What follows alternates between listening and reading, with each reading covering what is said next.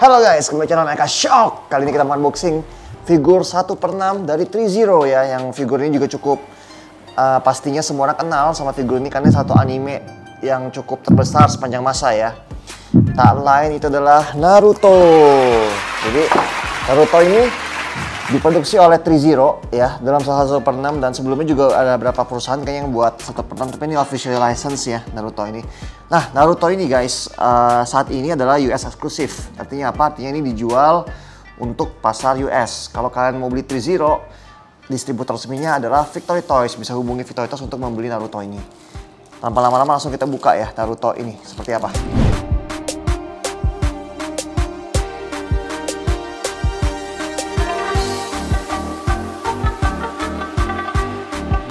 Naruto Uzumaki ini ya pertamanya debut sebagai uh, strip ya. Um, kalau salah tahun 97 ya. Masashi Kishimoto dia punya um, autornya ya. Sekarang udah dilanjutin sama namanya uh, Boruto ya. Nah ini dia guys, um, Naruto Super 6 ya. Ayo kita coba langsung kita buka kalau ngapain seperti apa, oke? Okay? Jadi ini, jadi yang ini bekerjasama sama um, Fix Zero dan ini Fix ini nggak tahu publikatornya kayak yang yang megang buat ini kali. Ya seperti ini ya. Ayo kita buka.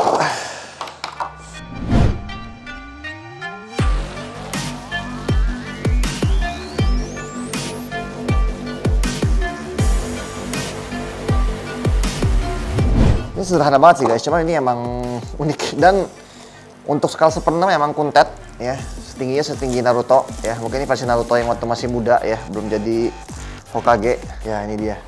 Bagus guys ya, detailnya juga artikulasinya juga bagus semuanya ya. Ntar saya buka dulu ini. A few moments later.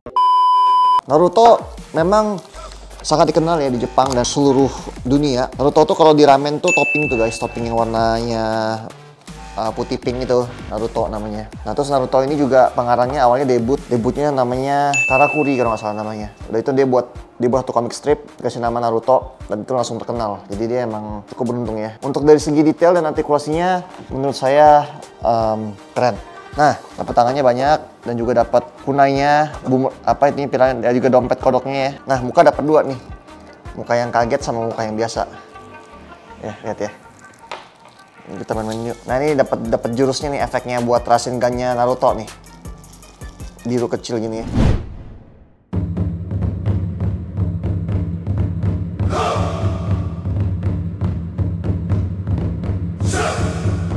Ini bodinya emang bagus ya, bodinya emang uh, body 3A emang bagus ya, nggak kayak body Medicom kan agak patah-patah gitu ya. Cuman di sini nggak dikasih stand, jadi nggak ada buat dia berdiri-berdiri gaya-gaya gitu harus dipegangin dia. Nah, coba kita pakein pose ini ya, pose dia mau nge ngejutsu.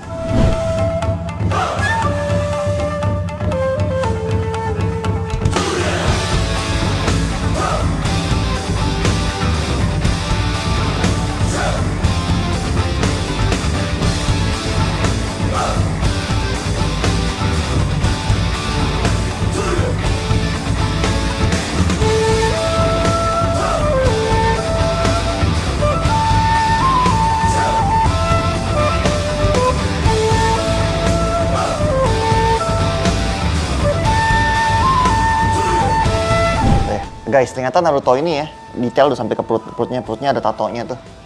Tato nine nine nine apa? Nine foxtail ya. Di sini ya. Um, dan overall belakangnya juga rapi ya ininya ada badge-nya di sini nempel di sini nempel. Juga ada kalung guys cuman kalungnya di dalam jadi percuma ditaruh.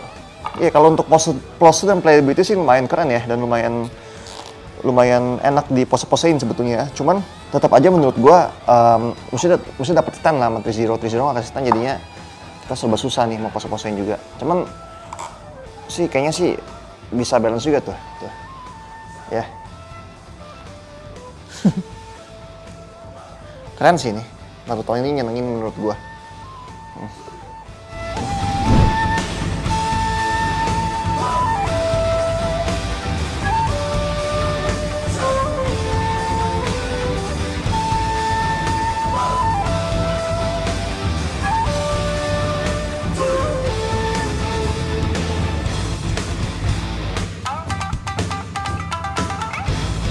Ya guys, jadi itu sekian dulu unboxing kali ini ya. Ini jadi dia lumayan stabil juga ternyata ya biarpun nggak pakai stand ternyata yang penting posisi kakinya bener dia bisa di pose-posein juga lumayan. Jadi Naruto ini dari 3 uh, menurut saya sangat memuaskan sekali ya. Buat yang mau beli ini jangan lupa hubungi Victory Toys ya di nomor di bawah ini ya.